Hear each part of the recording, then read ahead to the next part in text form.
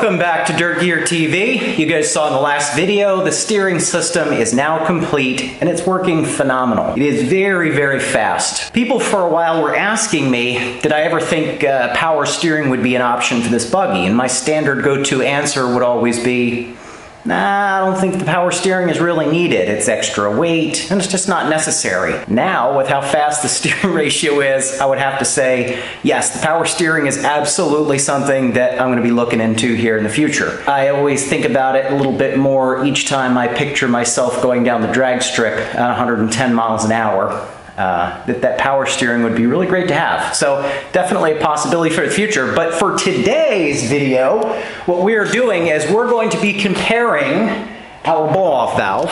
Okay, you guys know I've been running one of these SK, what is it, SKQ, HKS, SQ, HKS, SQ, whatever they are. They're very popular uh, blow-off valves. I mean, they make a cool noise, but they're just a standard blow-off valve. So any additional boost pressure that I've got in my charge pipe is being vented 100% to atmosphere through the blow-off valve. Today, we're going to be installing this Turbosmart recirculation valve. So unlike the vented blow-off valve, this one just simply recirculates that boost pressure back into the charge pipe.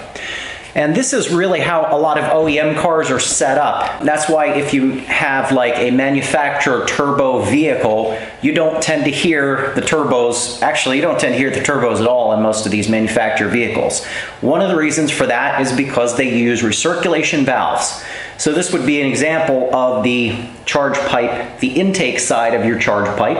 And rather than venting that boost pressure to atmosphere, it just sends it back into the intake side of your air intake. It keeps the system quiet, but it also helps to keep the boost pressure up. So the question we're going to be answering today is do recirculation valves actually help to keep boost pressures higher during a shift or when you let off the throttle? And if they do work, how much do they work? Okay, so as of right now, here's my plan. I am going to replace this section of pipe right here that goes to our blow-off valve. I'll just replace this with one that's got a fitting on it for a one inch. I think that is just a one inch or 25 millimeter adapter. Yep, that's a one inch. So our Turbosmart blow-off valve will connect here to this charge pipe. And then what we'll do is we'll run a piece of one inch hose to the other side of where the turbo is to our intake charge piping. So for example, when that throttle plate shuts, our boost pressure then gets routed up here into the Turbosmart and it sends 100% of that vented pressure back along this tubing here. This goes to our turbo here, which sends through the charge pipe and intercooler back through to this pipe.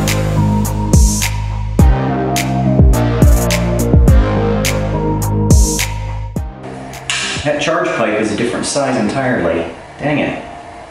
Let's see what I got here. Aha! You know what I forgot that I had? I had ordered this a long time ago. Yeah, it is all silicone, which I want as much of my charge pipe to be, you know, solid aluminum as possible. Um, but I don't think a small little section of silicone like that is really going to make a dramatic difference. If it fits the blow-off valve piping, and we know it's the right size. Look at that. Yeah, baby. Totally forgot I even had this, which means we can mount our Turbosmart right there.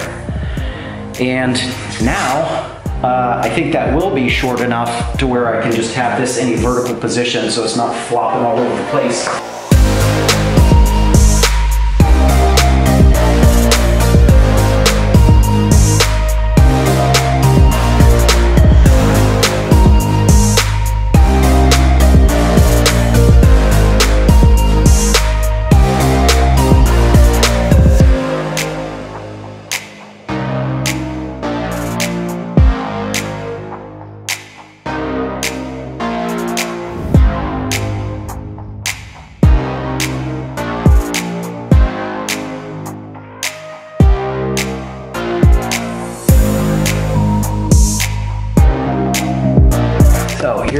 Here's set up. Air filter comes in, drops down to a distribution. The recirculated air comes into that T, comes down, and then back into our turbo. And of course, this side's all gonna be in negative pressure, so we're constantly drawing air in through here And so that blown off air will just flow right back down into the turbo and that should spool our turbo faster. And now I've just got to reconnect this hose to our Turbosmart over there. And then we got our Turbosmart side all hooked up. I got our vacuum line hooked onto the Turbosmart. And um, that routes underneath and back over there to that side to the intake. So Let's give this sucker a try and we'll see how it sounds. Now before we do the testing and I run this thing, I want to replace this air filter. So I've got here one of the best air filters that money can buy. This is an AEM dry flow brute force. The difference between the regular dry flow systems and the brute force systems are the brute force is specifically designed for off-road, but this requires no oil at all.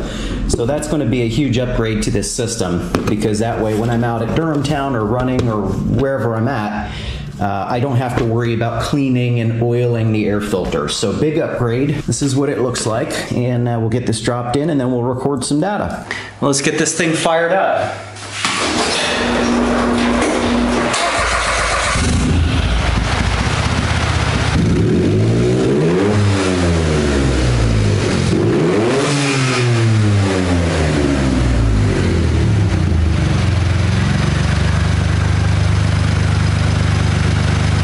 man, it, you guys would not believe how hot it is right now in Florida.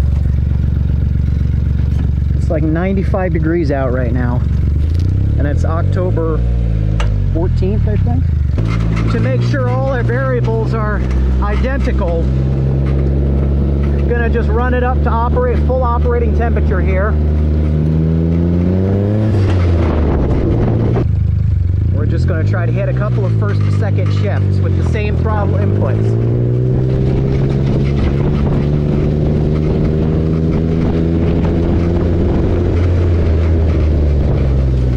I do want it to be a hard shift.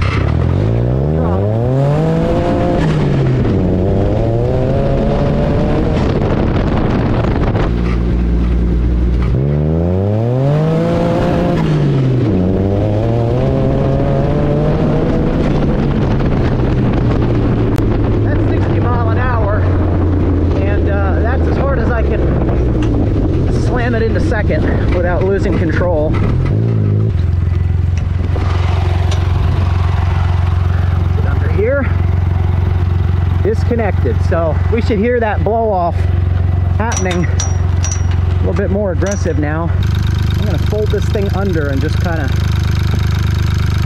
pinch that, pinch that off. I don't want any air going through there. See how I've got that pinched off? I don't want any cheating. I want as much consistency as we can get.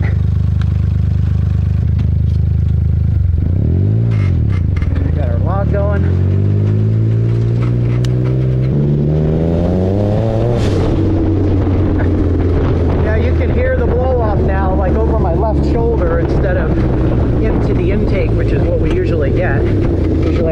hitting the intake in the air filter.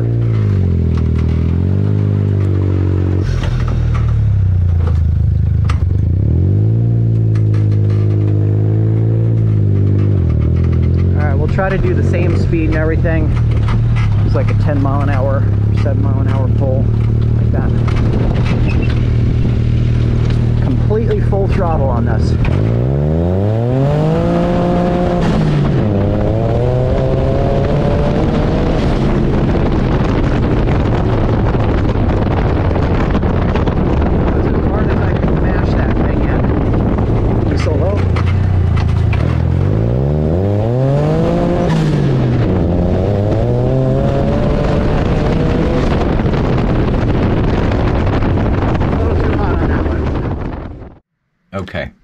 So I've got my logs pulled up here. Now the darker of the two graphs that you see, this one here, this is the one where I have the recirculation valve connected to the intake.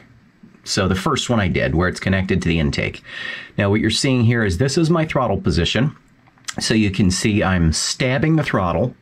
The green is the throttle position. The white here is my RPM. Okay, that's first gear, that's second gear. Here's my boost pressure in white here. And then you can see things like Spark Advance and VVT down here, but really we're not looking at that for this purpose. We're looking at the boost pressure, we're looking at the throttle position, we're looking at the RPM. So I overlaid that with the next four once I disconnected and I started venting to atmosphere. So this lighter line that you see me moving over is the one, is the first event that we did disconnected. So what I'm going to do is just line these two graphs up. And what I'm trying to match up is I know there's a little bit of a difference here in where I was stabbing the throttle and how much time delay and so forth. But the most important thing that I line up here is that when I get back on the throttle, this is the TPS when I'm at full throttle, I want that to line up on this side because essentially that is what's going to determine how quickly the boost pressure comes back in. There is virtually no difference here. Again, we're looking at the boost pressure. So here I've kind of lined up. I have uh, I stayed on the throttle a little bit longer here, but I came back on the throttle at the same time right here. You can see the RPM is very similar. And look at how identical the boost pressure is. I'm going to move it over just a bit. Look at that. It is utterly identical, the boost pressures. Okay, that's our first event, so we'll just keep going down the line here. This is our second event. Let me correlate that to the second. Okay, so now I've got both second poles lined up. Again, I'm going to tr try to line up what's most important is when I was getting back on the throttle, that these two green lines here match identically. Now in this case, look at this. Remember the light gray line here, that is where I'm venting to atmosphere. So we blew off, identically we blew off the exact amount of pressure here. These two lines correlate, comes up here. And in this case, I was actually getting more boost pressure quicker with the vent to atmosphere setup. But it could just be an anomaly, so let's keep going. Again, I'm, I'm just going to line these up. This is the first event and the third event. And look at how identically these lines match up. Look at that. Third event and second event, just to show you guys the consistency here. Look at this. This is my the third event and the second event. On the throttle exactly the same. Exactly. Okay, so the verdict is in. Does the recirculation valve do anything to improve the boost between shifts? No, doesn't actually do anything. And in my case, I'm probably just going to be going back to the blow-off valve and venting to atmosphere because at least the blow-off valve has a cool sound to it. Um, do I think that there's a time and a place for the recirculation valve? Yeah, so why do the manufacturers use, almost exclusively use a recirculation valve? I mean, there has to be a benefit or they wouldn't be using that system. And one thing to keep in mind, guys, is that the turbo on my system is just about as small as you can get. There is the very real possibility that when you're dealing with a larger displacement engine and a turbo that's putting out significantly more air volume, that when you send that back into the intake side of that charge pipe, that there there is a benefit and that it's helping to keep the spool up on a larger turbo. But with how tiny my whole system and setup is with that tiny little turbo, I guess it's really not making a difference. So in my case, I'm just going to go back to the HKS blow-off valve.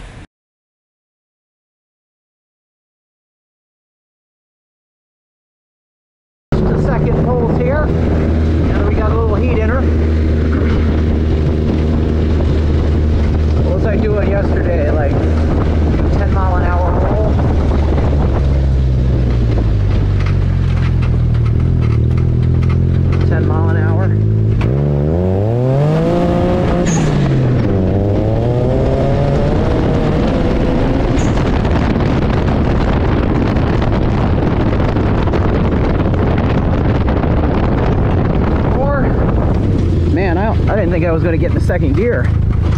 Shoot.